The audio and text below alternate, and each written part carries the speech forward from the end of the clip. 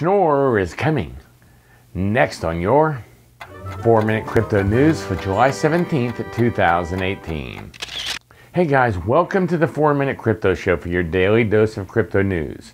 Now, today's show is from a post by Lisa Hertig at Coindesk.com and it's brought to you by Turnkey Mining. Interested in mining crypto but have no idea where to start? Look at the turnkey solution offered at turnkeymining.com. Now, the Schnorr's Bitcoin upgrade may have taken its most important step yet toward implementation last week when a draft outlining its technical makeup was released. The idea that's been in the works by Bitcoin developers for years is now one step closer to improving the scalability and privacy of the world's most valuable cryptocurrency. This sets up Schnorr's as the next big change to Bitcoin since segregated witness also known as SegWit, prompted a drawn out battle in the Bitcoin community last year before finally being adopted. adopted.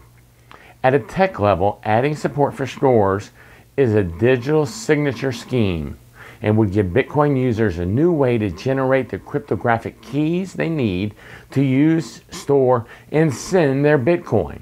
It's a lot of tricky math, so it's no surprise the release sparked technical discussion on the Bitcoin developer mailing list. But nothing major, nothing major has come up so far, and developers are really optimistic, especially since one of Schnorr's key benefits is that its security can actually be proven mathematically. While Schnorr's offers a number of improvements on its own, developers are also excited that will also pave the way for a range of changes that can be built on top of it, such as new privacy techniques and such. Schnorr should also lead these advanced transactions to be cheaper as well, an important improvement since transactions can grow very expensive in times of congestion. Schnorr's is a particularly big upgrade. Although changes are being made to Bitcoin's most used clients every day, Schnorr's is a rarer type of change since it affects the most important rules in Bitcoin.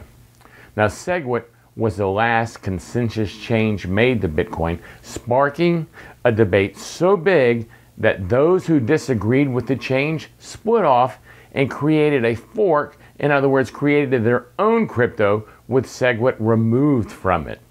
So, what are your thoughts about Schnorr? Have you even heard of Schnorr before the, today's show? Curious to find out about that. Either leave me a comment in the messages or send me a Twitter message at Gary Leland. Thanks for joining me for today's show. If you're watching on YouTube, please subscribe and add a comment.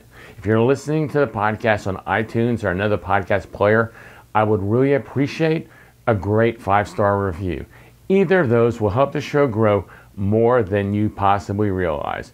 I'm your host, Gary Leland, and please join me every weekday for a new episode of 4 Minute Crypto. This is a CryptoCousins.com production.